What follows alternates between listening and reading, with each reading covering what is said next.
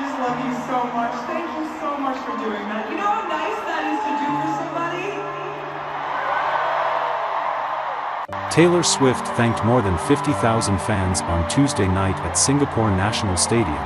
In a vibrant atmosphere, female fans expressed sweet words to fans in Singapore who enthusiastically supported her throughout the three days of the Eras tour.